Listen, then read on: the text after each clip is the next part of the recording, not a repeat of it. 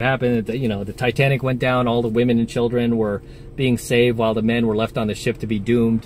And we kind of had a similar situation happen uh, you guys ever see this ship the concordia?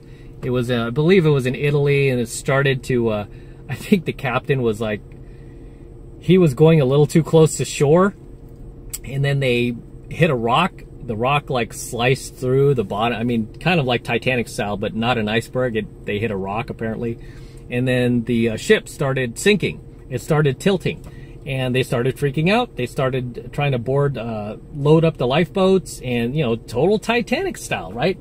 And uh, these women were just stunned because they said men were jumping over us, climbing over us to get on the lifeboat. Uh, there was nobody there saying women and children first. It was just like every man for himself. These women were horrified by that behavior. But it's like, what do you expect in a society where you yourself are likely encouraging this woke behavior that men are just like women? Women are just like men. Oh, women, I've seen the latest, what is that movie? Like Catwoman movie. She was, she was beating up you know, 10 other guys who are twice their size. So that must be real life. Women should do that in real life. And it's like, no, when it comes down to reality and brass tacks, these women are helpless and, um, you know, you're, you'll be hard pressed to fi find a G.I. Jane in there. Uh, I mean, I'd be looking for the strong alpha dudes. I just wanted to say something real quick. Just, um, I guess you can call this just something to make you think because I was thinking about something earlier today you know how women always want equality, this, that, blah, blah, blah, blah, blah, blah, blah.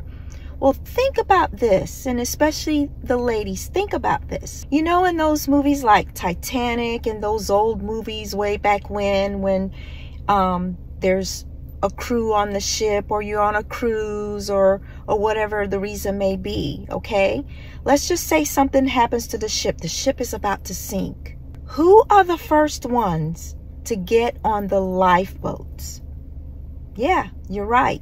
Women and children. But think about this. What if the roles were reversed? And the men and the children got on the lifeboats first. How would you feel about that, ladies? That is something to really, really make you think. All these roles and vice versa stuff. Just think about that.